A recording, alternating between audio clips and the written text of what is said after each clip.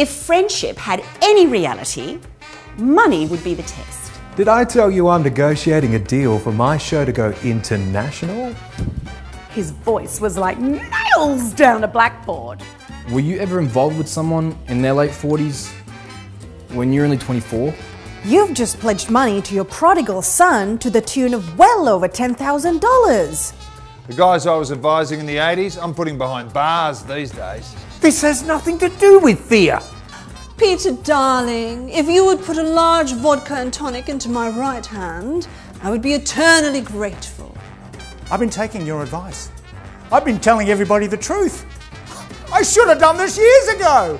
So come and enjoy the play. It is a hilarious night out. It's actually one of David Williamson's highest grossing plays of all time, and the cast is great. It's actually a bit of a family affair too, directed by me, starring my brother, and written by my dad. So come along because you know what? It is money. And friends.